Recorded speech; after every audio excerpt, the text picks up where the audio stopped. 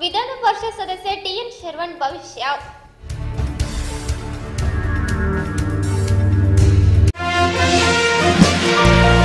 ವಾರ್ತೆಗಳ ವಿವರ. ಕಾಂಗ್ರೆಸ್ ಹಾಗೂ ಭಾರತೀಯ ಪಕ್ಷಗಳು ರಾಜ್ಯವನ್ನು ಹಾಳು ಮಾಡಿವೆ ಎಂದು ಜೆಡಿಎಸ್ ರಾಜ್ಯ ಉಪಾಧ್ಯಕ್ಷ ಮಹಂತೇಶ್ ಪಾಟೀಲ್ ಅತ್ತನೂರು ಆರೋಪಿಸಿದರು. ಅವರು ನಗರದ ಸತ್ಯ ಗಾರ್ಡನ್ನಲ್ಲಿ ಮಾಜಿ ಶಾಸಕ ವೆಂಕಟರಾವ್ ನಾಡಗೌಡರ ಅರವತ್ತೊಂದನೇ ಅದ್ದೂರಿ ಹುಟ್ಟುಹಬ್ಬ ಆಚರಣೆ ಹಾಗೂ ಜೆಡಿಎಸ್ ಕಾರ್ಯಕರ್ತರ ಸಮಾವೇಶದಲ್ಲಿ ಮಾತನಾಡಿದರು. ಸಿದ್ದರಾಮಯ್ಯ ಸರ್ಕಾರ ರಾಜ್ಯದ ಜನತೆಯ ಆಶೋತ್ತರಗಳನ್ನು ಕಡೆಗಣಿಸಿದೆ. ಮೂರು ವರ್ಷ ನಿರಂತರ ಬರಗಾಲವಿದ್ದರೂ ರಾಜ್ಯ ಸರ್ಕಾರ ಹಾಗೂ ಜನಪ್ರತಿನಿಧಿಗಳು ಬೇಜವಾಬ್ದಾರಿ ನೀತಿಯನ್ನು ಮುಂದುವರೆಸಿದ್ದಾರೆ. ಇವರುಗಳ ಕುತಂತ್ರದಿಂದಾಗಿ ಕಳೆದ ಎರಡು ವರ್ಷಗಳಿಂದ ಎಡದಂಡೆ ನಾಲೆಯ ರೈತರು ಬೆಳೆಗೆ ನೀರಿಲ್ಲದೆ ಪರದಾಡುವಂತಾಗಿದೆ ಎಂದು ಟೀಕಿಸಿದರು. ಮಾಜಿ ಶಾಸಕ ವೆಂಕಟರಾವ್ ನಾಡಗೌಡ ಒಬ್ಬ ದಕ್ಷ ಪ್ರಾಮಾಣಿಕ ಪ್ರತಿನಿಧಿಯಾಗಿದ್ದು, ಅವರ ಅಧಿಕಾರಾವಧಿಯಲ್ಲಿ ಎಡದಂಡೆ ನಾಲೆಯಲ್ಲಿ ನೀರಿನ ಸಮಸ್ಯೆ ಉಲ್ಬಣಿಸಿದ್ದಾಗ ಭದ್ರಾ ಜಲಾಶಯದಲ್ಲಿ ಮೂರು ಟಿಎಂಸಿ ನೀರನ್ನು ತರುವ ಮೂಲಕ ಈ ಭಾಗದ ರೈತರ ಬೆಳೆಗಳನ್ನು ಉಳಿಸಿದ್ದರು ಎಂದು ಅತ್ತನೂರು ಹೇಳಿದಾಗ, ನೆರೆದಿದ್ದ ನಾಡಗೌಡರ ಅಭಿಮಾನಿಗಳು ಚೆಪ್ಪಾಳೆ ಶಿಳೆ ಹಾಕುವ ಮೂಲಕ ಹರ್ಷ ವ್ಯಕ್ತಪಡಿಸಿದರು. ಮತ ಕೇಳಬೇಕಾದ್ರೆ ರೈತರು, ನಾವೆಲ್ಲರೂ ಬೇಕಾಗಿದೆ. ಎಲ್ಲಾ ಪಕ್ಷಗಳಿಗೆ. ಆದರೆ ರೈತರ ಕಷ್ಟದ ಕಣ್ಣೀರು ಒರೆಸೋದಕ್ಕೆ ಅಧಿಕಾರದಲ್ಲಿರುವ ಪಕ್ಷಕ್ಕೆ ಬೇಕಾಗಿಲ್ಲ ಅನ್ನುವಂಥದ್ದಕ್ಕೆ ನಮ್ಮ ರೈತರ ಇವತ್ತಿನ ಸಾಕ್ಷಿ ಅಂದ್ರೆ ತಪ್ಪಾಗ್ಲಿಕ್ಕಿಲ್ಲ ಅನ್ನುವಂಥದ್ದು ಕೂಡ ಈ ಸಂದರ್ಭದಲ್ಲಿ ಬಯಸ್ತೇನೆ. ಅದೇ ಒಂದು ನಾಲ್ಕೂವರೆ ವರ್ಷ ಹಿಂದೆ ನಾವು ಸನ್ಮಾನ್ಯ ನಾಡಗೌಡರು ಶಾಸಕರಾಗಿದ್ದಂತಹ ಸಂದರ್ಭದಲ್ಲಿ. ಇದಕ್ಕಿಂತ ಕಠಿಣವಾದಂತ ಪರಿಸ್ಥಿತಿ, ಬೆಳೆ ಹಚ್ಚಿದಾಗ ನೀರಿಲ್ಲ, ಹೇಗೆ ಮಾಡಬೇಕನ್ನುವಂತ ಪರಿಸ್ಥಿತಿ ನಿರ್ಮಾಣ ಆದಾಗ,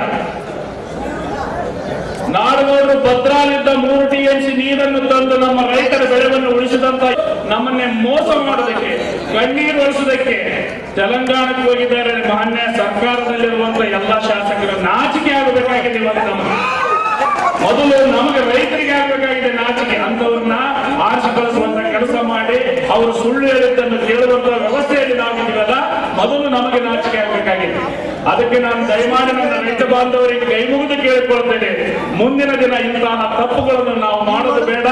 ಮುಂದಿನ ದಿನದಲ್ಲಿ ನಮಗೆ ಕೆಲಸ ಮಾಡುವಂತಹ ಕಣ್ಣೀರು ನಮ್ಮನ್ನು ಪ್ರೀತಿಸುವಂತ ವ್ಯಕ್ತಿ ನಾಡಗೌಡರಿಗೆ ಮತ ಕೊಟ್ಟು ಆರಿಸಿದ್ರೆ ನಮಗೆಲ್ಲರಿಗೂ ಒಳ್ಳೆಯದಾಗ್ತದೆ ಎನ್ನುವಂತಹ ಮಾತನ್ನು ಈ ಸಂದರ್ಭದಲ್ಲಿ ಅನ್ವಯಿಸ್ತೇನೆ ಅದ್ರ ಜೊತೆಯಲ್ಲಿ ಸುಮಾರು ಇಪ್ಪತ್ತೈದು ವರ್ಷ ಅವರಿಂದ ನಾನು ಬೆಳೆದಂತ ಹುಡುಗ ಅವರ ವ್ಯಕ್ತಿತ್ವ ಎಂಥದ್ದು ಅನ್ನುವುದು ನಿಮಗೆಷ್ಟು ಗೊತ್ತಿದೆ ನನಗೆ ಗೊತ್ತಿಲ್ಲ. ಆದರೆ ನನಗೆ ಮಾತ್ರ ಸಂಪೂರ್ಣ ಗೊತ್ತಿದೆ.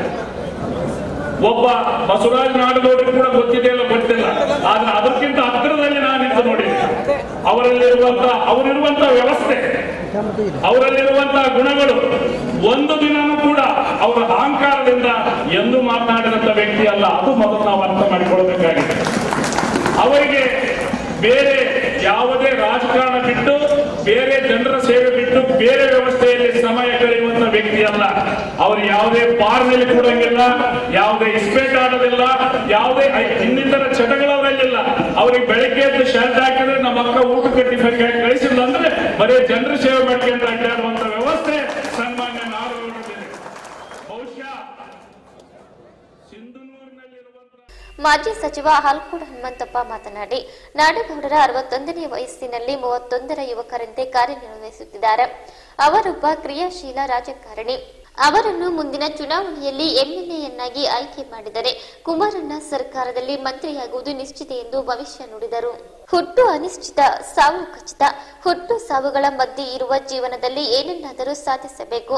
ನಾಡಗೌಡರು ಹುಟ್ಟು ಹೋರಾಟಗಾರರಾಗಿದ್ದು, ಅವರು ರೈತ ಪರ ಚಿಂತಕರಾಗಿದ್ದಾರೆ. ಅವರನ್ನು ಸಿಂಧನೂರು ಕ್ಷೇತ್ರದ ಜನತೆ ಮತ್ತೊಮ್ಮೆ ಆಶೀರ್ವದಿಸಿ ಕ್ಷೇತ್ರದ ಅಭಿವೃದ್ಧಿಗೆ ಕಾರಣರಾಗಬೇಕೆಂದು ಮನವಿ ಮಾಡಿದರು.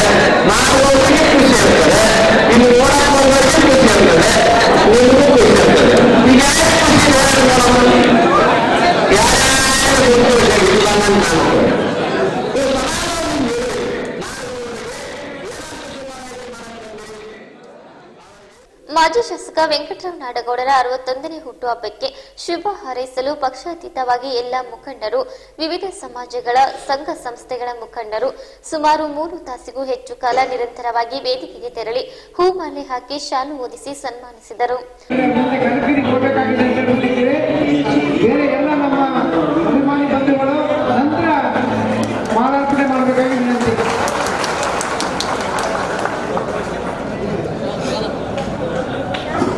ಸದಸ್ಯರು ಅವರು ಕೂಡ ವೇದಿಕೆ ಮೇಲೆ ಎಲ್ಲರೂ ಚಪ್ಪಾಳೆ ತಟ್ಟುವ ಮುಖಾಂತರ ಅವ್ರನ್ನ ವೇದಿಕೆ ಮೇಲೆ ಆಹ್ವಾನಿಸಬೇಕಾಗಿ ವಿನಂತಿ. ಅದೇ ರೀತಿ ನಮ್ಮ ಸಿಂಗಲೂರಿನವರಾದಂತಹ ರಾಜ್ಯ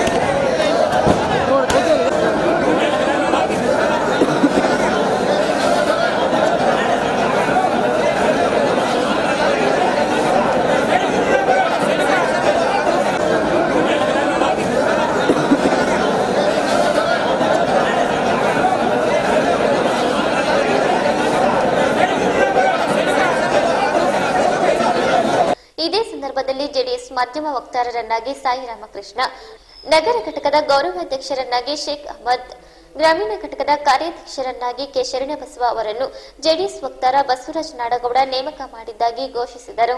ವಿಧಾನ ಪರಿಷತ್ ಮಾಜಿ ಸದಸ್ಯ ಹಾಗೂ ಜೆಡಿಎಸ್ ಕೋರ್ ಕಮಿಟಿ ಸದಸ್ಯ ಎಚ್ ಸಿ ನೀರಾವರಿ, ಜೆಡಿಎಸ್ ಅಲ್ಪಸಂಖ್ಯಾತರ ಘಟಕದ ರಾಜ್ಯ ಅಧ್ಯಕ್ಷ ಮಹಮ್ಮದ್ ಅಲ್ತಫ್, ಉಪಾಧ್ಯಕ್ಷ ಅಸುದ್ದೀನ್ ಹೋರಾಟಗಾರ ಹೆಚ್ಚಿನ ಬಡ್ಗೇರ್ ಇಮಾಮ್ ಸುಜಾನ್, ಗೊರೆಬಾಳ್ ತಾಲೂಕಾ ಪಂಚಾಯತ್ ನೂತನ ಸದಸ್ಯ ಗುರುರಾಜ್ ಹಾಗೂ ಗ್ರಾಮ ಪಂಚಾಯತ್ ಸದಸ್ಯ ಶರಣೇಗೌಡರನ್ನು ಸನ್ಮಾನಿಸಿ ಗೌರವಿಸಲಾಯಿತು.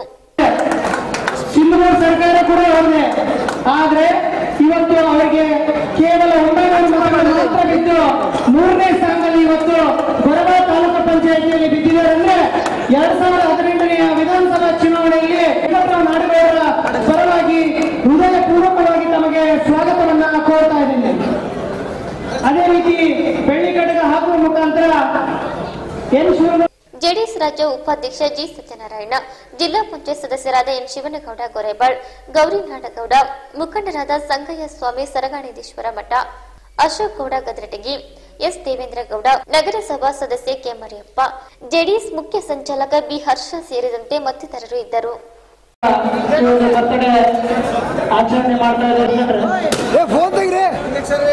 ಕುಟುಂಬ ಸಭೆ ಮಾಜಿ ಶಾಸಕರ ತೆರಳಿದಾಗ ರಾಯಚೂರಿನ ಪಂಡಿತ ಸಿದ್ದರಾಮ ಜಂಬಲ್ದಿನ್ನಿ ರಂಗಮಂದಿರದಲ್ಲಿ ಹಡಪದ ಅಪ್ಪಣ್ಣ ಹಾಗೂ ಸಮುದಾಯದ ಶರಣ ಶರಣೆಯರ ಜಯಂತ್ಯೋತ್ಸವದ ಅಂಗವಾಗಿ ಜಿಲ್ಲಾ ಶರಣ ಸಂಸ್ಕೃತಿ ಉತ್ಸವ ಮತ್ತು ಜಿಲ್ಲಾ ಜನಜಾಗೃತಿ ಸಮಾವೇಶ ಜನವರಿ ಒಂಬತ್ತರಂದು ನಡೆಯಲಿದೆ ಎಂದು ನಿವೃತ್ತ ಶಿಕ್ಷಣಾಧಿಕಾರಿ ಎಚ್ ಡಿ ಹಂಪಣ್ಣ ತಿಳಿಸಿದರು. ನಗರದ ಬಸವ ಪ್ರಸಾದ ನಿಲಯದಲ್ಲಿ ಶನಿವಾರ ಸುದ್ದಿಗೋಷ್ಠಿಯಲ್ಲಿ ಮಾತನಾಡಿ, ಸಮುದಾಯ ಎಲ್ಲ ರೀತಿಯಿಂದಲೂ ಶೋಷಣೆ ಅನುಭವಿಸುತ್ತಿದೆ. ರಾಜಕೀಯ, ಶೈಕ್ಷಣಿಕ ಪ್ರಾತಿನಿಧ್ಯವಿಲ್ಲ. ಟು ಎ ಪ್ರಮಾಣ ಪತ್ರ ಪಡೆಯಲು ಸಾಧ್ಯವಾಗುತ್ತಿಲ್ಲ. ಅಭಿವೃದ್ಧಿ ನಿಗಮ ಸ್ಥಾಪನೆಯಾಗಿಲ್ಲ.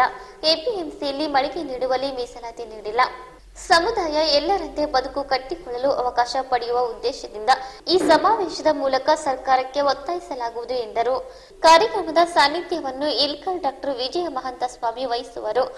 ಇಲ್ಕಲ್ ಗುರು ಮಹಂತ ಸ್ವಾಮೀಜಿ ಕೂಡಲ ಸಂಗಮ ಜಯ ಮೃತ್ಯುಂಜಯ ಸ್ವಾಮೀಜಿ, ಗೊಲ್ಲಪಲ್ಲಿ ವರದಾನೇಶ್ವರ ಸ್ವಾಮೀಜಿ ಬಸವ ಪ್ರಸಾದ್ ಶರಣರು, ತಂಗಡಗಿ ಅನ್ನದಾನ ಭಾರತಿ ಅಪ್ಪಣ್ಣ ಸ್ವಾಮೀಜಿ ನೇತೃತ್ವ ವಹಿಸುವರು. ಕಾರ್ಯಕ್ರಮವನ್ನು ಸಾರಿಗೆ ಸಚಿವ ಎಚ್ ಎಂ ರೇವಣ್ಣ ಉದ್ಘಾಟಿಸುವರು ಎಂದು ತಿಳಿಸಿದರು.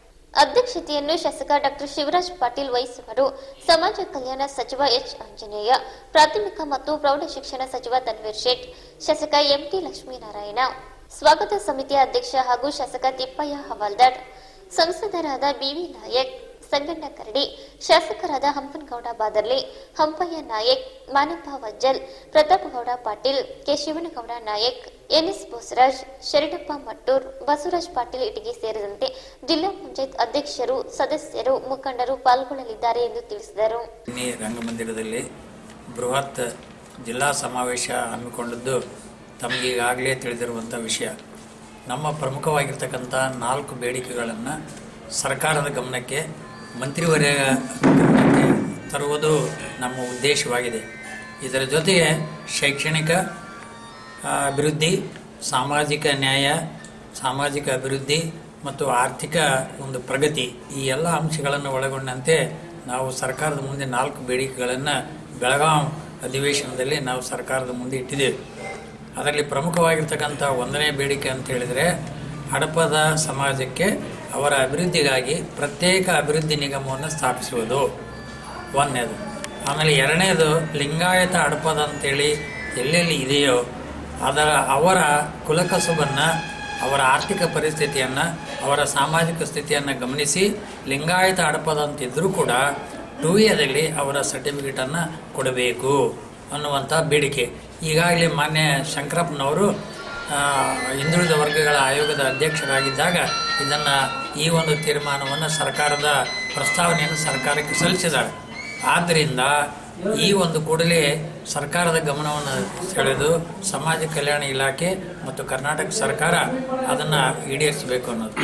ಆಮೇಲೆ ಮೂರನೇದ ಬೇಡಿಕೆ ಅಂತ ಹೇಳಿದರೆ, ಈ ಅನೇಕ ಹಿಂದುಳಿದ ವರ್ಗಗಳ ಮಠಾಧೀಶರುಗಳಿಗೆ ಬೆಂಗಳೂರಿನಲ್ಲಿ ನಿವೇಶನವನ್ನು ಕೊಡುವುದಾಗಿ ಸನ್ಮಾನ್ಯ ಮುಖ್ಯಮಂತ್ರಿಗಳು ಈಗಾಗಲೇ ಘೋಷಿಸಿದ್ದಾರೆ. ಕೆಲವೊಂದಕ್ಕೂ ಈಗಾಗಲೇ ಅಧಿಸೂಚನೆಯನ್ನು ಕೂಡ ಹೊರಡಿಸಿದ್ದಾರೆ. ಅದರಲ್ಲಿ ನಮಗೆ ಹಡಪದ ಸಮಾಜಕ್ಕಿಲ್ಲ. ಹಾಗಾಗಿ ಹಡಪದ ಸಮಾಜಕ್ಕೆ ಹಡಪದ ಸಮಾಜಕ್ಕೆ ನಿವೇಶನವನ್ನು ಕೊಡಬೇಕು. ನಮಗೂ ನಮ್ಮ ಜನರ ಅಭಿವೃದ್ಧಿಗಾಗಿ ಒಂದು ನಿವೇಶನ ಬೇಕು ಅನ್ನೋದನ್ನು ನಾವು ಈಗಾಗಲೇ ಈ, ಮನವಿಯನ್ನು ಸಲ್ಲಿಸಿದ್ದೀವಿ. ಅದಕ್ಕೆ ಅದು ಕೂಡ ಈಡೇರಿಸಬೇಕು ಅಂತೇಳಿ ಸರ್ಕಾರದಲ್ಲಿ ನಾವು ಒತ್ತಾಯವನ್ನು ಮಾಡ್ತೀವಿ.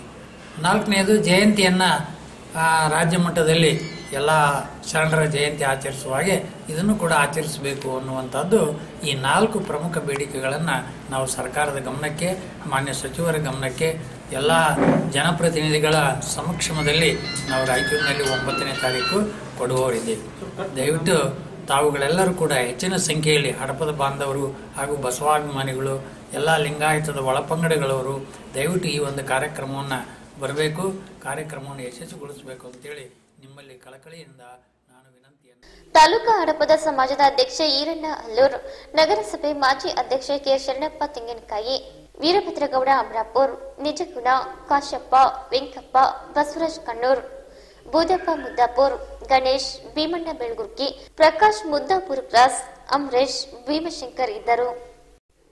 ನಗರದ ಕಲ್ಮಠ ಕಾಂಪ್ಲೆಕ್ಸ್ ಹಿಂದುಗಡೆ ಬಡಾವಣೆಯ ಮನೆಯಲ್ಲಿ ಬಾಂಗ್ಲಾ ಮೂಲದ ವಿದ್ಯಾರ್ಥಿನಿಯೋರ್ವಳು ಜೀವನದಲ್ಲಿ ಜಿಗಿಪ್ಸೆ ಹೊಂದಿ ಶನಿವಾರ ಬೆಳಿಗ್ಗೆ ಮನೆಯಲ್ಲಿ ನೇಣು ಬಿಗಿದುಕೊಂಡು ಆತ್ಮಹತ್ಯೆ ಮಾಡಿಕೊಂಡ ಘಟನೆ ಜರುಗಿದೆ. ಖಾಸಗಿ ಕಾಲೇಜೊಂದರಲ್ಲಿ ಪ್ರಥಮ ಪಿಯುಸಿ ಓದುತ್ತಿದ್ದ ವಿದ್ಯಾರ್ಥಿನಿ ಶ್ರುತಿ ಆತ್ಮಹತ್ಯೆ ಮಾಡಿಕೊಂಡ ದುರ್ದೈವಿಯಾಗಿದ್ದಾಳೆ. ಮೂಲತಃ ಆರ್ಎಚ್ ನಂಬರ್ ಎರಡರ ಕ್ಯಾಂಪಿನ ನಿವಾಸಿಯಾಗಿದ್ದ ಇವರ ಕುಟುಂಬ ಉದ್ಯೋಗದ ನಿಮಿತ್ತ ನಗರದ ಕಲ್ಮಠ ಕಾಂಪ್ಲೆಕ್ಸ್ನಲ್ಲಿ ಇರುವ ಮನೆಯಲ್ಲಿ ವಾಸವಾಗಿದ್ದರು. ವಿದ್ಯಾರ್ಥಿನಿಯ ಸಾವಿಗೆ ನಿಖರವಾದ ಕಾರಣ ತಿಳಿದು ಬಂದಿಲ್ಲ ಎಂದು ಪಿಎಸ್ಐ ವೀರರೆಡ್ಡಿ ತಿಳಿಸಿದ್ದಾರೆ. ಈ ಕುರಿತು ವಿದ್ಯಾರ್ಥಿನಿಯ ತಂದೆ ವಿಷ್ಣು ದತ್ತ ಶಹರ್ ಪೊಲೀಸ್ ಠಾಣೆಯಲ್ಲಿ ದೂರು ದಾಖಲಿಸಿದ್ದಾರೆ. ಎರಡ್ ಸಾವಿರದ ಹದಿನೆಂಟರ ವಿಧಾನಸಭಾ ಚುನಾವಣೆಯ ನಂತರ ಎಚ್ ಡಿ ಕುಮಾರಸ್ವಾಮಿ ಮುಖ್ಯಮಂತ್ರಿಯಾಗಲಿದ್ದು, ರಾಜ್ಯದಲ್ಲಿ ಕುಮಾರ ಪರ್ವ ಆರಂಭವಾಗಲಿದೆ ಎಂದು ಜೆಡಿಎಸ್ ಮುಖಂಡ ಹಾಗೂ ವಿಧಾನ ಪರಿಷತ್ ಸದಸ್ಯ ಟಿಎನ್ ಶರ್ವಣ್ ಹೇಳಿದರು. ಮಾನ್ವಿ ಪಟ್ಟಣದ ಕೋಟಿಲಿಂಗ ಧ್ಯಾನ ಮಂದಿರದಲ್ಲಿ ಜೆಡಿಎಸ್ ತಾಲೂಕಾ ಘಟಕದಿಂದ ಹಮ್ಮಿಕೊಂಡಿದ್ದ ಮನೆ ಮನೆಗೆ ಕುಮಾರಣ್ಣ ಕಾರ್ಯಕ್ರಮ ಹಾಗೂ ಕಾರ್ಯಕರ್ತರ ಬೂತ್ ಮಟ್ಟದ ಸಭೆಗೆ ಚಾಲನೆ ನೀಡಿ ಅವರು ಮಾತನಾಡಿದರು. ಕೇಂದ್ರದಲ್ಲಿನ ಬಿಜೆಪಿ ಹಾಗೂ ರಾಜ್ಯದಲ್ಲಿನ ಕಾಂಗ್ರೆಸ್ ದುರಾಡಳಿತಕ್ಕೆ ಜನ ಬೇಸರ ವ್ಯಕ್ತಪಡಿಸುತ್ತಿದ್ದಾರೆ. ಹೀಗಾಗಿ ಪ್ರಾದೇಶಿಕ ಪಕ್ಷದ ಮೇಲೆ ಒಲವು ಹೆಚ್ಚಾಗಿದೆ. ಆದರೆ ಕಾರ್ಯಕರ್ತರು ನಿದ್ದೆ ಬಿಟ್ಟು ಶ್ರಮಿಸಬೇಕಿದೆ. ಕುಮಾರಸ್ವಾಮಿಯವರ ಅವಧಿಯ ಜನಪರ ಯೋಜನೆಗಳ ಬಗ್ಗೆ ಮನೆ ಮನೆಗೆ ತೆರಳಿ ಮಾಹಿತಿ ನೀಡಬೇಕು. ಪಕ್ಷಕ್ಕೆ ಕಾರ್ಯಕರ್ತರೇ ಜೀವಾಳವಾಗಿದ್ದು, ರಾಜ ವೆಂಕಟಪ್ಪ ನಾಯಕರ ಗೆಲುವಿಗೆ ಶ್ರಮಿಸಬೇಕು ಎಂದರು. ಅಲ್ಲದೆ ಮುಖ್ಯಮಂತ್ರಿ ಸಿದ್ದರಾಮಯ್ಯ ರಾಜ್ಯವನ್ನು ಭ್ರಷ್ಟಾಚಾರದಲ್ಲಿ ದೇಶದಲ್ಲೇ ನಂಬರ್ ಒನ್ ಸ್ಥಾನಕ್ಕೆ ತಂದಿದ್ದಾರೆ.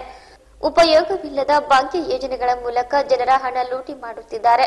ಇದನ್ನು ಜನ ಅರಿತುಕೊಂಡಿದ್ದು, ಮುಂದಿನ ಚುನಾವಣೆಯಲ್ಲಿ ಸಿಎಂ ಸಿದ್ದರಾಮಯ್ಯನವರಿಗೆ ಜನ ಸೋಲಿನ ಭಾಗ್ಯ ನೀಡಲಿದ್ದಾರೆ ಎಂದು ವ್ಯಂಗ್ಯವಾಡಿದರು ಮಾಡಬೇಕು. ಭ್ರಷ್ಟಾಚಾರವನ್ನು ನೋಡಿದ್ದಾರೆ ಇವತ್ತು ಕಾರ್ಯಕರ್ತರ ಅನಿವಾರ್ಯವಿದೆ ಜೆಡಿಎಸ್ ಪಕ್ಷಕ್ಕೆ ಆಶೀರ್ವಾದ ಮಾಡಬೇಕು ನಮ್ಮ ಪಕ್ಷದ ಅಭ್ಯರ್ಥಿಗಳು ಯಾರಿದ್ದಾರೆ ಅಂತವರಿಗೆ ಆಶೀರ್ವಾದ ಮಾಡಬೇಕು ಅಂತ ಹೇಳಿ ಜನ ಮನಸ್ಸು ಮಾಡಿದ್ದಾರೆ ಜನ ಆಶೀರ್ವಾದ ಮಾಡಿ ಸಿದ್ಧರಾಗಿದ್ದಾರೆ ಆದರೆ ನಮ್ಮ ಪಕ್ಷದ ಶಿಕ್ಷಣ ಸಿಪಾಯಿಗಳು ಯಾರು ಕಾರ್ಯಕರ್ತರ ಪಡೆ ಹೀಗೆ ನಮ್ಮ ಪಕ್ಷದ ಆಸ್ತಿ ನೀವು ಮನಸ್ಸು ಮಾಡಿದ್ರೆ ಮತದಾರರ ಹತ್ರ ಹೋಗಿ ನಮ್ಮ ಪಕ್ಷದ ಸಿದ್ಧಾಂತಗಳೇನು ನಮ್ಮ ಕುಮಾರಣ್ಣವರು ಇಪ್ಪತ್ತು ತಿಂಗಳ ಆಡಳಿತ ಅವಧಿಯಲ್ಲಿ ಅವರು ಏನೇನು ಕಾರ್ಯಕ್ರಮಗಳನ್ನು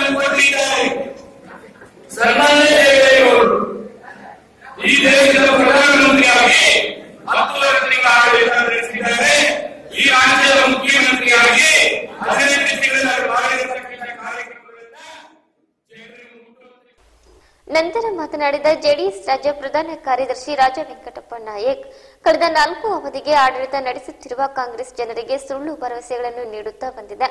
ಕುಡಿಯುವ ನೀರಿನ ಕೆರೆ ನಿರ್ಮಾಣ ವಿಷಯದಲ್ಲಿ ಜನರಿಗೆ ಮೋಸ ಮಾಡುತ್ತಿದ್ದಾರೆ. ಚುನಾವಣೆ ಸಮೀಪಿಸುತ್ತಿರುವುದರಿಂದ ಕಾಮಗಾರಿ ತರಾತುರಿಯಲ್ಲಿ ಆರಂಭಿಸಿದ್ದಾರೆ ಎಂದರು. ರಾಜ್ಯ ಕಾಂಗ್ರೆಸ್ ಸರ್ಕಾರ ರೈತರನ್ನು ನಿರ್ಲಕ್ಷಿಸುತ್ತಿದೆ. ಮಾನ್ವಿ ತಾಲೂಕಿನ ಕೊನೆ ಭಾಗದ ರೈತರಿಗೆ ನೀರಿಲ್ಲದಂತೆ ಮಾಡಲಾಗಿದೆ. ಸ್ವತಃ ಕಾಡಾ ಅಧ್ಯಕ್ಷರಾಗಿರುವ ಶಾಸಕ ಹಂಪಯ್ಯ ನಾಯಕ್ ಈ ಕುರಿತು ತಲೆ ಕೆಡಿಸಿಕೊಳ್ಳುತ್ತಿಲ್ಲ. ಆದರೆ ರೈತರ ಬಗ್ಗೆ ಕಾಳಜಿ ಇರುವ ಕುಮಾರಸ್ವಾಮಿ ಅವರು ಅಧಿಕಾರಕ್ಕೆ ಬಂದ ಇಪ್ಪತ್ನಾಲ್ಕು ಗಂಟೆಗಳಿಗೆ ಸಾಲ ಮನ್ನಾ ಮಾಡುವ ಘೋಷಣೆ ಮಾಡಿದ್ದಾರೆ ಎಂದರು.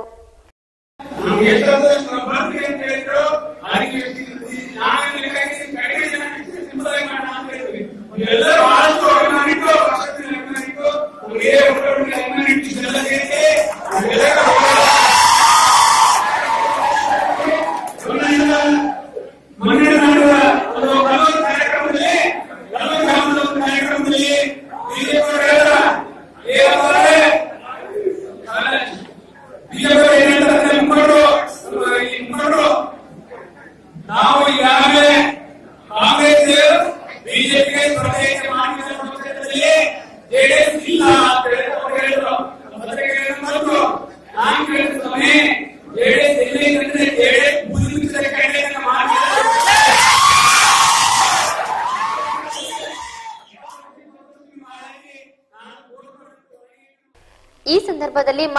ಸಂಸದ ಹನುಮಂತಪ್ಪ ಅಲ್ಕೋಡ್, ಜಿಲ್ಲಾ ಪಂಚಾಯಿತಿ ಸದಸ್ಯ ಮಹಂತೇಶ್ ಪಾಟೀಲ್ ಅತ್ತನೂರು ಜಿಲ್ಲಾಧ್ಯಕ್ಷ ಎಂ ವಿರೂಪಾಕ್ಷಿ, ಮಹಿಳಾ ಘಟಕದ ಕಾರ್ಯಾಧ್ಯಕ್ಷೆ ಪದ್ಮ, ತಾಲೂಕು ಅಧ್ಯಕ್ಷ ಮಲ್ಲಿಕಾರ್ಜುನ್ ಪಾಟೀಲ್ ಬಲ್ಲಟಗಿ, ಯುವ ಘಟಕಾಧ್ಯಕ್ಷ ಪಿ ರವಿಕುಮಾರ್, ಬಿ ನಾಗರಾಜ್, ಗೋಪಾಲ್ ನಾಯಕ್, ಹರ್ವಿ ಸೇರಿದಂತೆ ಅನೇಕರಿದ್ದರು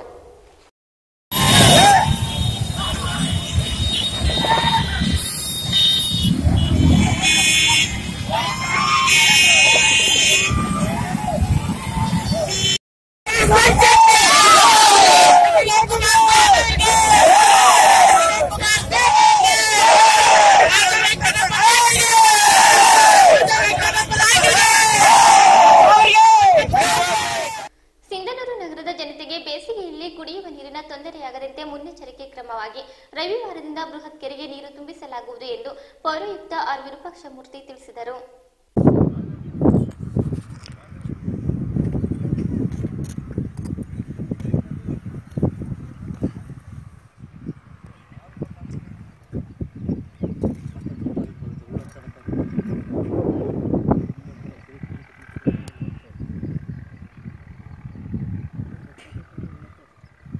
ನೋಡ್ರಿ ಸರ್ ಅಲ್ಲಿ ಎಷ್ಟಿತ್ತಲ್ಲ ಅದೆಲ್ಲ ತೆಗ್ದಾರ ನೋಡ್ರಿ ಅಲ್ಲಿ ಅಂಬರೀಷಣ ಸರ್ ಅದು ನೋಡ್ರಿ ಅವರು ತುರುವಿಹಾಳ್ ಹತ್ತಿರ ಇರುವ ಸಿಂಧನೂರಿನ ಬೃಹತ್ ಕುಡಿಯುವ ನೀರಿನ ಯೋಜನೆಯ ಕೆರೆ ವೀಕ್ಷಣೆ ಮಾಡಿ ವೈಭವವಾಹಿನಿಯೊಂದಿಗೆ ಮಾತನಾಡಿದರು. ಬೇಸಿಗೆಯಲ್ಲಿ ಕುಡಿಯುವ ನೀರಿನ ಆಹಾಕಾರ ತಪ್ಪಿಸಲು ತಾತ್ಕಾಲಿಕವಾಗಿ ಕೆರೆಗೆ ನೀರು ತುಂಬಿಸಿಕೊಳ್ಳಲು ನಿರ್ಧರಿಸಲಾಗಿದೆ. ಸಿಂಧನೂರಿಗೆ ಕುಡಿಯುವ ನೀರಿನ ಮೂಲ ಒಂದೇ ಕೆರೆಯಾಗಿರುವುದರಿಂದ ನೀರಿನ ಸಮಸ್ಯೆ ಪರಿಹಾರಕ್ಕಾಗಿ ಈ ಕೆರೆಯನ್ನು ಸಂಗ್ರಹಿಸಬೇಕು. ಜಾಕ್ವೆಲ್ ನಿರ್ಮಾಣ ಕಾಮಗಾರಿ ನಡೆದಿರುವುದರಿಂದ ಕೆರೆ ನೀರು ತುಂಬಿಸಲು ಅನಿವಾರ್ಯವಾಗಿದೆ ಎಂದರು. ಈ ಹಿಂದೆ ಜಿಲ್ಲಾಧಿಕಾರಿಗಳು ಕೆರೆ ಪರಿಶೀಲನೆ ಮಾಡಿ ಕೆರೆಯ ಕೆಲ ಭಾಗಗಳಲ್ಲಿ ಬಣ್ಣ ಕಲ್ಪಿಚಿಂಗ್ ಸರಿಯಾಗಿ ಆಗಿಲ್ಲ. ಜೊತೆಗೆ ಸಮತಟ್ಟು ಮಾಡಿ ಎರಡು ಮೀಟರ್ ವರೆಗೆ ನೀರು ತುಂಬಿಸಲು ಸೂಚನೆ ನೀಡಿದ್ದರು. ಜಿಲ್ಲಾಧಿಕಾರಿಗಳ ಸೂಚನೆಯನ್ವಯ ಕೆಯುಐಡಿಎಫ್ಸಿ ಅಧಿಕಾರಿಗಳಿಗೆ ತಾವು ಸೂಚನೆ ನೀಡಿದ ಹಿನ್ನೆಲೆಯಲ್ಲಿ ಗುತ್ತೇದಾರ ಕಂಪನಿಯೊಂದಿಗೆ ಕಲ್ಪಿಚಿಂಗ್ ಸರಿಯಾಗಿರದ ಕಡೆ ತೆಗೆಸಿ ಮರು ಕಲ್ಪಿಚಿಂಗ್ ಮಾಡಲಾಗಿದೆ. ಜಂಗಲ್ ಕಟಿಂಗ್ ಹಾಗೂ ಸಮತಟ್ಟು ಮಾಡಲು ಐದು ಜೆಸಿಬಿ, ಎರಡು ಪೋಕ್ಲೈನ್ ಕೆಲಸ ಮಾಡುತ್ತಿವೆ. ಜೊತೆಗೆ ಐವತ್ತಾರು ಜನ ಕೂಲಿಕಾರರು ಕೆಲಸ ಮಾಡುತ್ತಿದ್ದಾರೆ ಎಂದು ವಿವರಿಸಿದರು. ಈ ಸಂದರ್ಭದಲ್ಲಿ ನಗರಸಭಾ ಸದಸ್ಯ ಶರಣಬಸವ ನೆಟಿಕಲ್ ಕೆಯುಐಡಿಎಫ್ಸಿಯ ಎಡಬ್ಲ್ಯೂ ಗಿರೀಶ್ ನಾಯಕ್ ಸೇರಿದಂತೆ ಅನೇಕರು ಉಪಸ್ಥಿತರಿದ್ದರು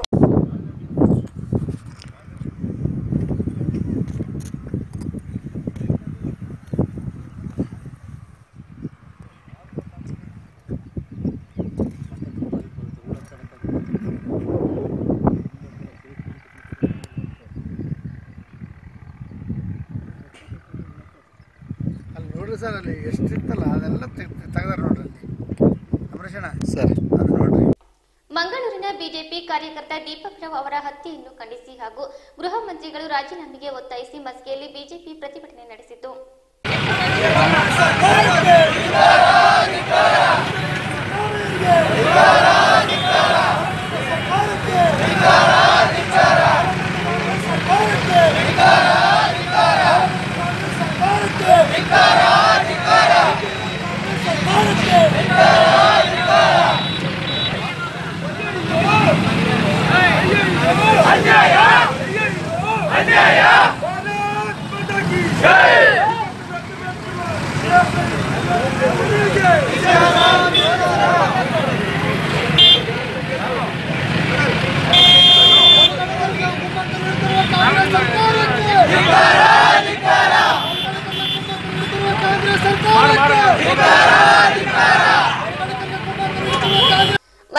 ಪಟ್ಟಣದ ಹಳೆ ಬಸ್ ನಿಲ್ದಾಣದ ಬಳಿ ನಡೆದ ಪ್ರತಿಭಟನೆಯಲ್ಲಿ ಬಿಜೆಪಿ ಮುಖಂಡ ಬಸನಗೌಡ ತುರ್ವಿಹಾಳ್ ನಗರಾಧ್ಯಕ್ಷ ಅಪ್ಪಾಜಿಗೌಡ ಪಾಟೀಲ್ ಮಾತನಾಡುತ್ತಾ, ಕಾಂಗ್ರೆಸ್ ಸರ್ಕಾರದ ಅವಧಿಯಲ್ಲಿ ಹಿಂದೂ ಸಂಘಟನೆ ಹಾಗೂ ಬಿಜೆಪಿಯ ಇಪ್ಪತ್ತೊಂದು ಜನ ಯುವಕರ ಹತ್ಯೆಯಾಗಿದೆ.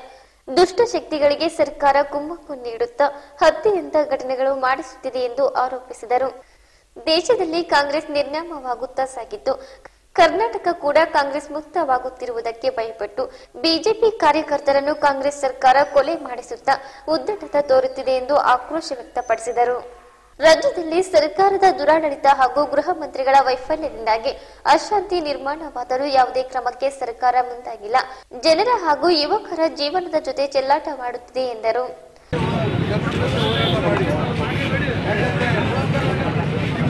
ಈ ರೀತಿಯಾಗಿ ಭಾರತೀಯ ಜನತಾ ಪಕ್ಷದ ಕಾರ್ಯಕರ್ತರನ್ನ ಯುವಕರನ್ನ ಕೊಲೆ ಮಾಡ್ತಕ್ಕಂಥದ್ದು ಎಷ್ಟೊಂದು ಅಸಹ್ಯ ಅನ್ನಿಸ್ತದೆ ನೀವು ನೋಡಿ ಯಾಕಂದ್ರೆ ಅವರು ಇನ್ನೂ ದೇಶಕ್ಕಾಗಿ ಒಂದು ಅಂಥ ಯುವಕರನ್ನ ಇವತ್ತು ಇಪ್ಪತ್ತು ಇಪ್ಪತ್ತೈದು ಕೊಲೆ ಮಾಡ್ತಿರೋದ್ರೆ ಇವತ್ತು ದೇಶಕ್ಕೆ ಎಷ್ಟು ನಷ್ಟ ಆಗ್ತದೆ ಅನ್ನುವಂಥದ್ದನ್ನು ನೀವು ಅರ್ಥ ಮಾಡಿಕೊಳ್ಳೋದು, ಅರ್ಥ ಮಾಡ್ಕೊಳ್ಳೋದು ಬದಲು ನಿಮ್ಮ ಒಂದು ಅಧಿಕಾರದ ಅಧಿಕಾರದ ದುರಾಶೆಗಾಗಿ, ಇವತ್ತು ಅಧಿಕಾರದ ದುರಾಶೆಗಾಗಿ ಇವತ್ತು ದೇಶವನ್ನು ಕೊಡ್ತಕ್ಕಂಥ ಪ್ರತಿಯೊಬ್ಬ ಯುವಕರನ್ನ ಕೊಲೆ ಮಾಡ್ತಕ್ಕಂಥ ಕೆಲಸ ನೀವು ಯಾವುದು ಮಾಡಬಾರ್ದು ಯಾಕಂದರೆ ನೀವು ಒಳ್ಳೆಯ ಆಡಳಿತ ನೀಡ್ತಕ್ಕಂಥ ಜವಾಬ್ದಾರಿ ಇಲ್ಲ. ಈಗಾಗಲೇ ಇವತ್ತು ಕೇಂದ್ರದಲ್ಲಿ ಅನೇಕ ಜಿಲ್ಲೆಗಳಲ್ಲಿ ಅನೇಕ ರಾಜ್ಯಗಳಲ್ಲಿ ಕಳಪಟ್ಟಿದೆ ನೀವು.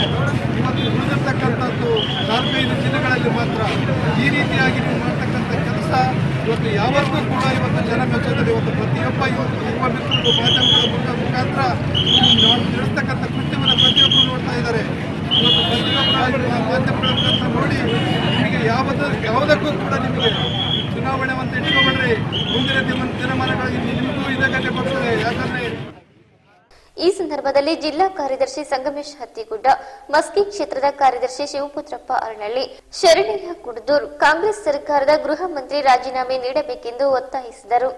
ಇನ್ನು ಮುಖಂಡ ಮಹದೇವಪ್ಪ ಗೌಡ ಹಿಂದೂ ಕಾರ್ಯಕರ್ತರ ಹತ್ಯೆಗೆ ಕಾರಣರಾದ ಪಿಎಸ್ಎ ಮತ್ತು ಕೆಎಫ್ಟಿ ಸಂಘಟನೆಗಳನ್ನು ನಿಷೇಧಿಸಬೇಕು ಹಾಗೂ ದೀಪಕ್ ಹತ್ಯೆಯನ್ನು ಎನ್ಐಎ ತನಿಖೆಗೆ ವಹಿಸುವಂತೆ ಹಾಗೂ ಗೃಹ ಮಂತ್ರಿ ರಾಜೀನಾಮೆ ನೀಡುವಂತೆ ಆಗ್ರಹಿಸಿ ಮನವಿಯನ್ನು ನಾಡ ತಹಸೀಲ್ದಾರ್ ಪ್ರಕಾಶ್ ಬುಳ್ಳಾರಿಗೆ ಸಲ್ಲಿಸಿದರು.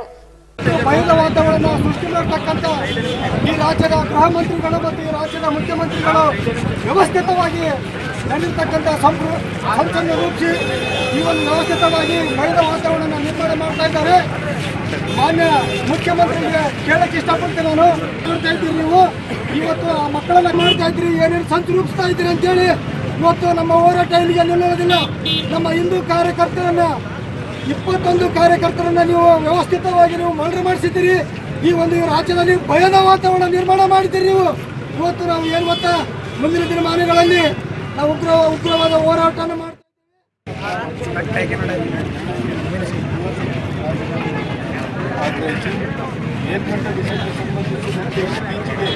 ಮೇಲ್ಕಂಡ ವಿಷಯಕ್ಕೆ ಸಂಬಂಧಿಸಿದಂತೆ ಇತ್ತೀಚೆಗೆ ಮಂಗಳೂರಿನಲ್ಲಿ ಭಾರತೀಯ ಜನತಾ ಪಾರ್ಟಿ ಕಾರ್ಯಕರ್ತನಾಗಿರುವ ಸರ್ಕಾರವನ್ನು ಕರೆ ಮಾಡಿದ್ದು ದೀಪಕ್ರಾವ್ ಅವರ ಹತ್ಯೆಯನ್ನು ಎನ್ಐಎಗೆ ತನಿಖೆಗೊಳಿಸುವಂತೆ ಮತ್ತು ಕಳೆದ ನಾಲ್ಕು ವರ್ಷಗಳಲ್ಲಿ ರಾಜ್ಯದಲ್ಲಿ ಇಂಡಿಯಾದ್ಯಂತ ನಡೆದಿರುವ ಬಿಜೆಪಿ ಮತ್ತು ಸಂಘ ಪರಿವಾರ ಕಾರ್ಯಕರ್ತರ ಸಂಘಟನೆಗಳ ತನಿಖೆಯನ್ನು ಎನ್ಐಎಗೆ ವಹಿಸಿ ಇಂತಹ ಸಮಾಜಘಾತಕ ಸಂಘಟನೆಗಳಿಗೆ ಮತ್ತು ಕೋಮು ಹಿಂಸೆಗೆ ಕುಮ್ಮಕ್ಕ ನೀಡುತ್ತಿರುವ ರಾಜ್ಯ ಸರ್ಕಾರದ ವಿರುದ್ಧ ಮತ್ತು ಅಸಮರ್ಥ ಗೃಹ ಮಂತ್ರಿಗಳ ರಾಜೀನಾಮೆ ನೀಡಬೇಕೆಂದು ಭಾರತೀಯ ಜನತಾ ಪಾರ್ಟಿ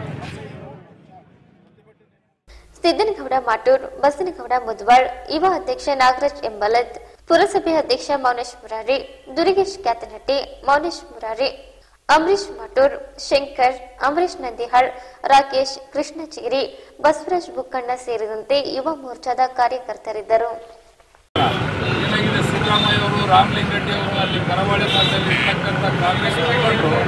ಬಿಜೆಪಿ ಅವರು ಅಲ್ಲಿ ಈ ಕಾರ್ಯಕರ್ತರನ್ನು ಟಾರ್ಗೆಟ್ ಮಾಡಿ ಅವ್ರನ್ನ ಕೊಲೆ ಮಾಡಲಿಕ್ಕೆ ಸಂಚನ್ನು ರೂಪಿಸಿದ್ದಾರೆ ಯಾಕಂದರೆ ಭಾಳ ಪ್ರಬಲವಾಗಿ ಬೆಳೀತಾ ಇದೆ. B J P B J P ಕಾರ್ಯಕರ್ತರು ಸಹನೆ ಆಗ್ತಾ ಇಲ್ಲ ಇದೇ ವರ್ಷ ಎಲೆಕ್ಷನ್ ಇದೆ ಎಲ್ಲ ನೋಡಿ ಅವರಿಗೆ ಒಂದು ಒಳ್ಳೆ ರೀತಿಯಾಗಿ ಈ ಒಂದು ಕೃತಿಯನ್ನು ಮಾಡ್ತಾ ಇದ್ದಾರೆ. ಒಂದು ನಮ್ಮ ಕಾರ್ಯಕರ್ತರನ್ನೆಲ್ಲ ಮುಗಿಸೋ ಸಂಚನ್ನು ಅವ್ರು ಇಟ್ಕೊಂಡಿದ್ದಾರೆ. ದಯವಿಟ್ಟು ಅವ್ರು ಹೆಚ್ಚಾಗಿ ಈ ಒಂದು ಇದಕ್ಕೆ ಘಟನೆಗೆ ಎಲ್ಲರೂ ನಾವು ಖಂಡಿಸ್ತೀವಿ ನಮ್ಮ ಗೃಹ ಮಂತ್ರಿಗಳು ತುಂಗಭದ್ರಾ ಹಿನ್ನೀರು ಎರಡು ಟಿಎಂಸಿ ನೀರನ್ನು ಚಿತ್ರದುರ್ಗ ಜಿಲ್ಲೆಯ ಪಾವಗಡ ಸೇರಿದಂತೆ ಇತರ ಗ್ರಾಮಗಳಿಗೆ ಕುಡಿಯುವ ನೀರಿಗಾಗಿ ಉಪಯೋಗಿಸಿಕೊಳ್ಳಲು ರಾಜ್ಯ ಸಚಿವ ಸಂಪುಟ ಸಭೆ ಏಕಾಏಕಿ ತೀರ್ಮಾನಿಸಿರುವುದು ತುಂಗಭದ್ರಾ ಅಚ್ಚುಕಟ್ಟು ಪ್ರದೇಶದ ರೈತರ ಹಿತಾಸಕ್ತಿಗೆ ವಿರುದ್ಧವಾಗಿದೆ ಎಂದು ಕೊಪ್ಪಳ ಸಂಸದ ಸಂಗಣ್ಣ ಕರಡಿ ರಾಜ್ಯ ಸರ್ಕಾರದ ವಿರುದ್ಧ ಆಕ್ರೋಶ ವ್ಯಕ್ತಪಡಿಸಿದರು. ವೈಭವದೊಂದಿಗೆ ಮಾತನಾಡಿದ ಅವರು, ತುಂಗಭದ್ರಾ ಜಲಾಶಯದಲ್ಲಿ ನೀರು ಸಾಕಷ್ಟು ಪ್ರಮಾಣದಲ್ಲಿ ಸಂಗ್ರಹವಾಗಿದೆ.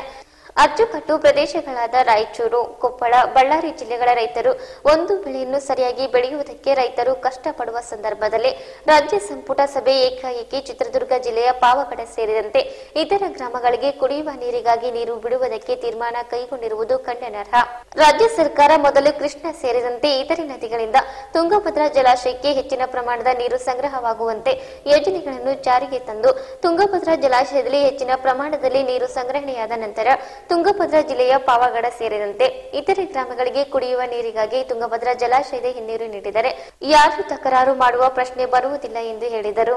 ಕೇಂದ್ರ ಸರ್ಕಾರ ಅಂತಾರಾಜ್ಯ ನದಿ ಜೋಡಣೆ ಸಂಬಂಧ ಈಗಾಗಲೇ ಕ್ರಿಯಾ ಯೋಜನೆ ತಯಾರಿಸುತ್ತಿದ್ದು, ತುಂಗಭದ್ರಾ ಜಲಾಶಯಕ್ಕೆ ಹೆಚ್ಚಿನ ಪ್ರಮಾಣದಲ್ಲಿ ನೀರು ಸಂಗ್ರಹವಾಗುವಂತೆ ಕ್ರಮ ಕೈಗೊಳ್ಳುವ ನಿಟ್ಟಿನಲ್ಲಿ ರಾಜ್ಯ ಸರ್ಕಾರ ಕೂಡಲೇ ಕೇಂದ್ರ ಸರ್ಕಾರಕ್ಕೆ ಪ್ರಸ್ತಾವನೆ ಸಲ್ಲಿಸಬೇಕು. ಜೊತೆಗೆ ರಾಜ್ಯದ ಇತರೆ ನದಿಗಳಿಂದ ತುಂಗಭದ್ರಾ ಜಲಾಶಯಕ್ಕೆ ಹೆಚ್ಚಿನ ಪ್ರಮಾಣದಲ್ಲಿ ನೀರು ಸಂಗ್ರಹಣೆಯಾಗುವಂತೆ ಕ್ರಮ ಕೈಗೊಳ್ಳುವ ನಿಟ್ಟಿನಲ್ಲಿ ರಾಜ್ಯದ ನದಿಗಳ ಜೋಡಣೆ ಯೋಜನೆ ಶೀಘ್ರ ಜಾರಿಗೆ ತರುವ ಮೂಲಕ ತುಂಗಭದ್ರಾ ಜಲಾಶಯದಲ್ಲಿ ಹೆಚ್ಚಿನ ಪ್ರಮಾಣದಲ್ಲಿ ನೀರು ಸಂಗ್ರಹಣೆ ಮಾಡುವ ಮೂಲಕ ಈ ಭಾಗದ ರೈತರ ಹಿತ ಕಾಪಾಡಬೇಕೆಂದು ರಾಜ್ಯ ಸರ್ಕಾರವನ್ನು ಆಗ್ರಹಿಸಿದರು. ಸಿಂಧನೂರು ನಗರದ ಆರ್ಜಿಎಂ ಮೈದಾನದಲ್ಲಿ ಚಿತ್ರದುರ್ಗದ ಮುರುಘಾ ರಾಜೇಂದ್ರ ಕಲಾ ತಂಡದಿಂದ ಜನವರಿ ಏಳು ಮತ್ತು ಎಂಟರಂದು ಎರಡು ನಾಟಕಗಳು ಪ್ರದರ್ಶನಗೊಳ್ಳಲಿವೆ ಎಂದು ಬಸವ ಕೇಂದ್ರದ ಗೌರವಾಧ್ಯಕ್ಷ ವೀರಭದ್ರಪ್ಪ ಕುರ್ಕುಂದಿ ತಿಳಿಸಿದರು. ಅವರು ನಗರದ ಬಸವ ಪ್ರಸಾದ ನಿಲಯದಲ್ಲಿ ಸುದ್ದಿಗೋಷ್ಠಿಯನ್ನು ಉದ್ದೇಶಿಸಿ ಮಾತನಾಡಿದರು. ಪ್ರತಿದಿನ ಸಂಜೆ ಏಳು ಗಂಟೆಗೆ ನಾಟಕಗಳು ಪ್ರದರ್ಶನಗೊಳ್ಳಲಿವೆ.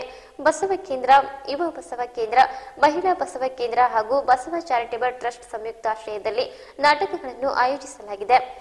ಜನವರಿ ಏಳರಂದು ಚೆನ್ನಬಸವಣ್ಣನವರ ಕ್ರಾಂತಿಯನ್ನು ಸಾರುವ ಶರಣಪಥ ಕ್ರಾಂತಿಪಥ ಎಂಬ ನಾಟಕ ಪ್ರದರ್ಶನಗೊಳ್ಳುವುದು. ಈ ನಾಟಕವನ್ನು ಉಮೇಶ್ ರಚಿಸಿದ್ದು, ನಿರ್ದೇಶನವನ್ನು ಚೆನ್ನಪ್ಪ ಕಟಗಿ ಮಾಡಿದ್ದಾರೆ.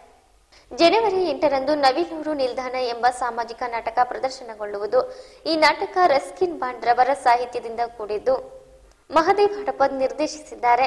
ಎರಡು ನಾಟಕಗಳಲ್ಲಿ ಅನುಭವಿ ಪಾತ್ರಧಾರಿಗಳಿದ್ದು ಮತ್ತು ಕೆಲ ಹೊಸ ಕಲಾವಿದರಿಗೆ ಅವಕಾಶ ಕಲ್ಪಿಸಲಾಗಿದೆ ಎಂದರು. ಬಸವಣ್ಣನೆಯ ತಾಯಿ, ಬಸವಣ್ಣನೆಯ ತಂದೆ, ಬಸವಣ್ಣನೆಯ ಪರಮ ಬಂಧುವಿನಗೆ ವಸುಧೀಶ ಕಪಿಲ ಸಿದ್ಧ ಮಲ್ಲಿಕಾರ್ಜುನ. ನಿಮ್ಮ ಹೆಸರಿಟ್ಟ ಗುರು ಬಸವಣ್ಣನಯ್ಯ. ಇದೇ ಜನವರಿ ಏಳು ಮತ್ತು ಎಂಟು, ಭಾನುವಾರ ಮತ್ತು ಸೋಮವಾರದ ದಿನ ಚಿತ್ರದುರ್ಗದ ಜಗದ್ಗುರು ಮುರುಘರಾಜೇಂದ್ರ ಜಗದ್ಗುರು ಮುರುಘರಾಜೇಂದ್ರ ಶರಣರ ಒಂದು ಬೃಹನ್ ಮಠದಿಂದ ಎರಡು ನಾಟಕಗಳ ಪ್ರದರ್ಶನವಾಗಲಿದೆ. ಪ್ರಥಮ ಭಾನುವಾರದ ದಿನದ ನಾಟಕ ಶರಣಪಥ, ಕ್ರಾಂತಿಪಥ ಅನ್ನುವಂಥ ನಾಟಕ. ಹನ್ನೆರಡನೇ ಶತಮಾನದ ಬಸವಾದಿ ಶರಣರ ಒಂದು ಚಿಕ್ಕ ವಯಸ್ಸಿನಲ್ಲಿಯೇ ಅದ್ಭುತವಾದ ಲಿಂಗಾಯತ ಧರ್ಮವನ್ನು ಹುಟ್ಟು ಹಾಕಿದಂಥ ಧರ್ಮಸೂತ್ರಗಳನ್ನು ಪ್ರತಿಪಾದಿಸಿದಂಥ ಷಟಸ್ಥಲ ಜ್ಞಾನಿ, ಚಿನ್ಮಯ ಜ್ಞಾನಿ ಚನ್ನಬಸವಣ್ಣನವರ ನಾಟಕ. ಅದು ಶರಣಪಥ, ಕ್ರಾಂತಿಪಥ ಅನ್ನುವಂಥ ಹೆಸರಿನೊಂದಿಗೆ ಚನ್ನಬಸವಣ್ಣನವರ ನಾಟಕ ಪ್ರದರ್ಶನವಾಗಲಿದೆ. ಅದು ಭಾನುವಾರ ಸಾಯಂಕಾಲ ಏಳು ಗಂಟೆಗೆ. ಸಾಯಂಕಾಲ ಏಳರಿಂದ ಒಂಬತ್ತು ಗಂಟೆಯವರೆಗೆ ಮಾತ್ರ ನಾಟಕ ಪ್ರದರ್ಶನ ಆಗ್ತಾ ಇದೆ. ಮಾರನೇ ದಿನ ಸೋಮವಾರ ದಿವಸ ಪ್ರದರ್ಶನವಾಗ್ತಕ್ಕಂಥ ನಾಟಕ ನವಿಲೂರ್ ಬಸ್ ನಿಲ್ದಾಣ. ಇದು ಸಾಮಾಜಿಕ ನಾಟಕ.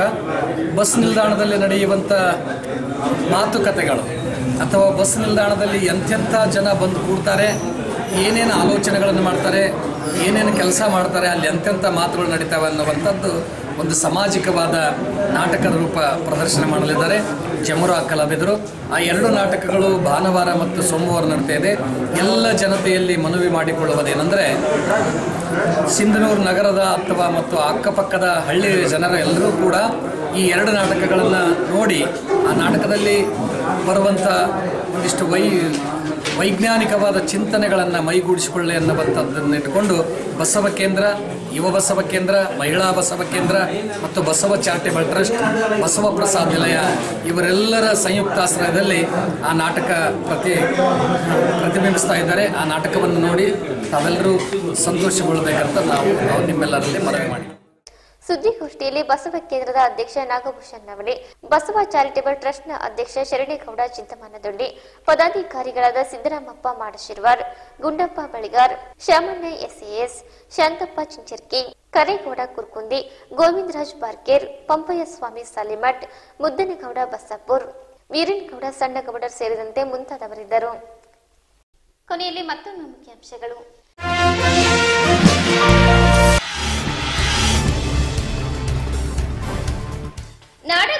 ಅದ್ದೂರಿ ಹುಟ್ಟುಹಬ್ಬ ಆಚರಣೆ. ಕಾಂಗ್ರೆಸ್ ಹಾಗೂ ಭಾರತೀಯ ಪಕ್ಷಗಳು ರಾಜ್ಯವನ್ನು ಹಾಳು ಮಾಡಿವೆ. ಮಹಂತೇಶ್ ಪಾಟೀಲ್ ಅತ್ತನೂರು ಆರೋಪ.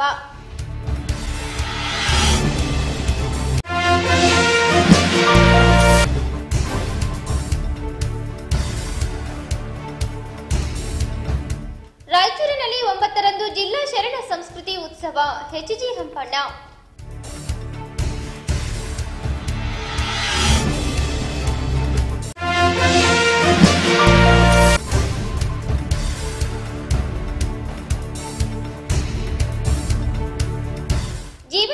ಜಿಗುಪ್ಸೆ, ಬೆಂಗಾಲಿ ವಿದ್ಯಾರ್ಥಿನಿ ಆತ್ಮಹತ್ಯೆ.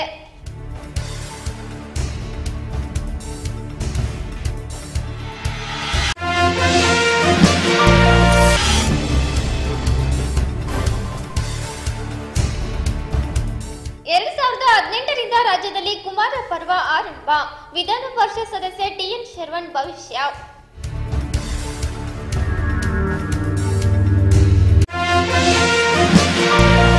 ಇಲ್ಲಿಗೆ ನಿನ್ನ ವಾರ್ತಾ ಪ್ರಸಾರ ಮುಕ್ತಾಯವಾಯಿತು. ನಿರಂತರವಾಗಿ ವೀಕ್ಷಿಸಿ ವೈಭವ ಟಿವಿ.